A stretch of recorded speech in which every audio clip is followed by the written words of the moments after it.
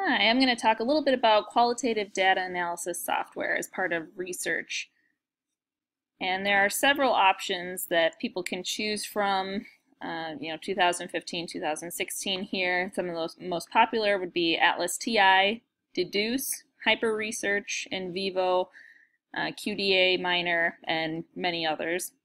So we're going to look at some of the options here, starting with Atlas TI.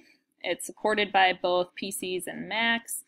Uh, it accepts all types of media, and you can actually code on any type of media, so that's very helpful. The cost uh, is kind of in the mid-range for this type of software. As a student, it's a $51 six-month subscription, $99 for two years, um, and after the subscription is up, you would either have to renew or you know stop using it. Uh, the process for getting approved for a student discount is quite lengthy, so be aware that they require two forms of matching ID uh, before you're allowed to purchase the program. Otherwise, as an educator, you can buy it for $670 or so, and that's a permanent purchase of that edition, which when new editions come out, it's a cheaper um, renewal uh, fee as far as to get a new edition um, downloaded to your computer. If you want to try it, they allow about a two week trial period for free to give you a sense of what the program is like. This is what it looks like as far as on the screen. It's one of the easier programs to navigate and it's very clean with how they've designed it. Uh, most of the navigating is on the left hand side. Your work area is in the center, and you can look at multiple documents at once, especially if you have a large screen or multiple screens uh, to look at at the same time. And then uh, notes and other types of information can be added on the right-hand side. Dedoose is a relatively cheap option.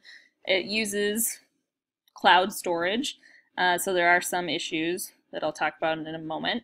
Um, but it's qualitative and mixed methods platform. So if you're interested in doing mixed methods, it's a way to uh, utilize both in the research process. Uh, supported by Mac and PC, you can log in anywhere, very easy to use, uh, very good for group collaboration. And the cost is $10.95 uh, per month, and you're only charged for the months that you actually log in and use the program. The only issue with this uh, that I've heard about is that it can have a major systems failure. So specifically in 2014, there was a systems failure that was traced back to their cloud storage. And basically, uh, for a few months, everybody who had made an account, all those accounts were deleted, all those new accounts were deleted, and then any data from any user that was stored between uh, March and May was deleted. Um, so that was a major issue, a lot of upset people, not much that the company could do uh, because they couldn't get the information back.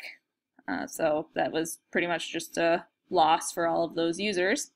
Um, and other universities have raised concerns about just the general security of information that's stored through Dedoose and that there's no backup available. It's pretty easy to use. This is a screenshot here showing you can use it uh, through multiple different web browsers and has lots of color coding options, uh, multiple layers of coding, etc. Uh, many of the features that the other more expensive programs have. Hyper Research is one of the more well-known options, uh, supported by PC and Mac and they have a setup where you can get the basic program for $200 if you're a student, and it's the permanent purchase of that edition. If you're an educator, not a student, at the time it's $569, again, permanent purchase.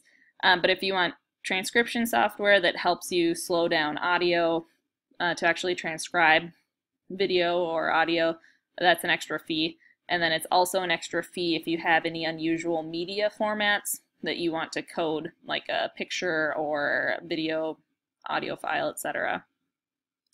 It's very similar to Atlas TI, and it looks pretty similar here, but usually you have to have multiple windows open, which can um, cause issues for some users. But again, you can look at multiple documents at the same time. Um, you can code uh, in multiple layers. You can group codes together, etc. So pretty useful for um, organizing information. NVivo is one of the other big ones that people talk about. Again, supported by PC and Mac. All types of media are accepted and uh, can be coded on the program. The cost for students is uh, a little bit more than Atlas TI, 120 for a one-year subscription, 250 for two years, 360s for three, sorry, 360 for three year. And if you're a non-student, you're looking at, you know, 500 to uh, 750 for a two-year to three-year subscription. And there's a slight price variation between PC and Mac. Mac is a little bit cheaper. The PC version is a little bit more expensive. And NVivo, again, has that kind of basic setup where you navigate on the left-hand side, lots of drop-down menu options at the top, and they, for some reason, decided to call their coding uh, applications nodes.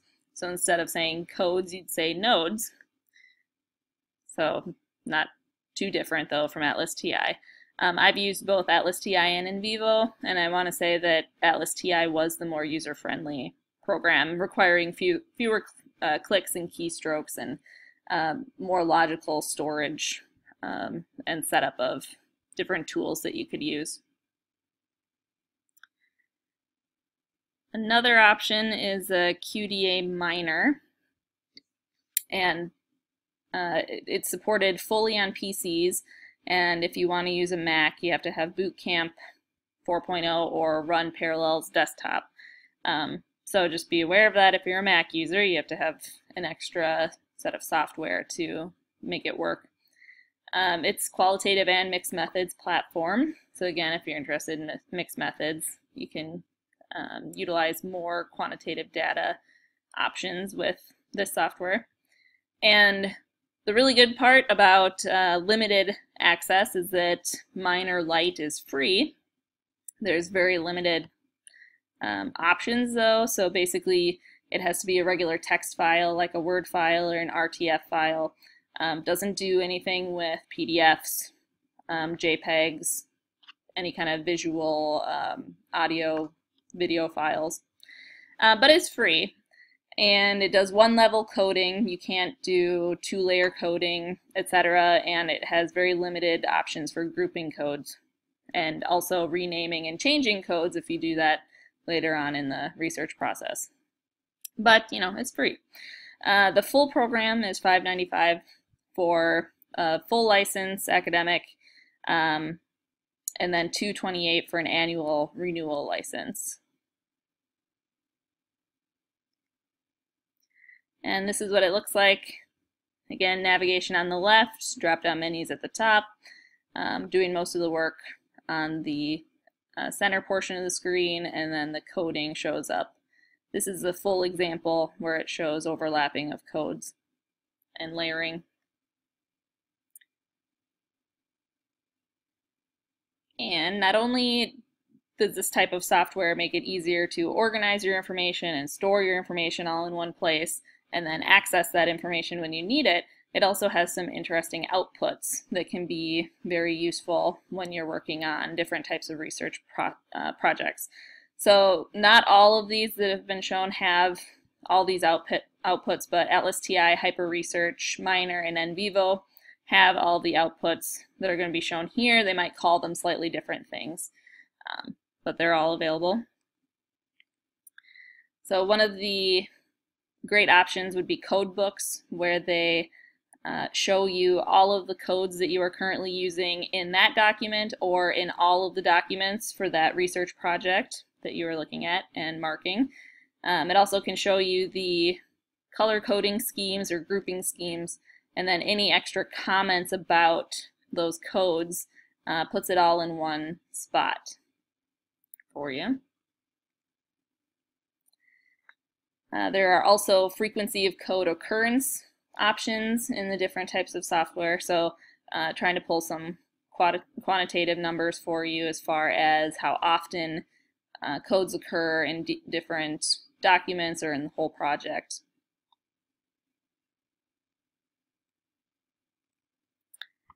And then most of them come with the transcribing option, um, although with some of them you have to pay a little bit extra for this feature. But it allows you to slow down, speed up, stop transcribing um, audio when you're trying to put it down in like a Microsoft Word document, um, trying to type it up. And most of them have it set up so that you can run the transcription program from your keyboard so that your hands never have to leave the keyboard, so it helps you speed up the process of transcribing. And then one of the more interesting visual options would be a network view or a code map in some of the other programs, where it actually allows you to visually see how different codes are represented and what documents they appear in, how they tie in with each other, etc. Uh, most of them have a self-generating option so that it gives you a basic, you know, here's what the computer does for you. And then you have the option of editing your map. Um, so if anything's incorrect or you want to change the different types of connections, it lets you do that as well. And it isn't terribly popular yet that I've seen, but some people do use these maps in actual publications and in dissertations um, for the readers. So I'm just going to give you a brief demonstration of Atlas TI here. And Atlas TI, again, I think is one of the easier ones to use. A very nice layout, logical uh, setup. And over on the left-hand side, you have the navigation menu, which lets you switch between multiple documents. And again, any kind of media, so PDFs, Word documents, JPEGs, videos, you can code everything. Even just audio, it'll show you um, points in time that allow you to stop and code um, individual sections in audio files. And it allows you to color code and group um, different codes, so that's very useful. It also allows you to write comments in various places, so comments on whole documents, comments on individual codes, um, it's very easy to write memos. So if you are interested in adding uh, any kind of memo while you're working on your research and coding, it allows you to make those and tie them into certain documents or certain places uh, in files very easily. And one thing that I really like about this, um, in addition to having easy access to um, your code book, which um, you would just find under codes output, and it throws together a code book very quickly for you so that you can see all the codes you're using and any comments you've made, and then you can also color code um, your codes, is that um, you can also uh, take over here and start a new code without actually placing it anywhere. Um, so you don't have to have any area selected to come up with a code. Um, so this is very helpful for etic coding, where you're starting with terminology or concepts from the literature, and you're looking for those being represented in the transcripts or in the data. So you can come up with those ahead of time. And then also for EMIC coding, where you're allowing the information to, uh, the codes to develop from the data, um, it's very easy to select an area and then choose what you want to title it, and then it makes it easy to find that information again in the future when you have another piece of information with that same code.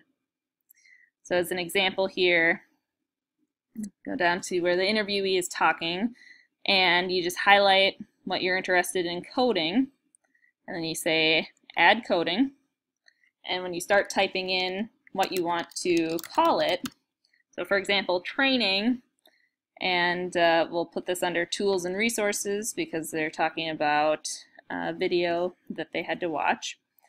Um, you can just very easily highlight what you want to be referenced by that code and then the code shows up in this right hand margin. And then if you wanted to um, overlap codes you definitely can do that. Um, so if you want to you know, pull in multiple pieces, add a different code,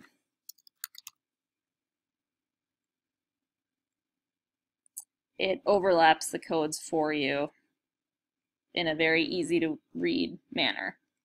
So that's just a little bit about uh, Atlas TI and some of the other options that you have uh, for qualitative data analysis software. Thank you.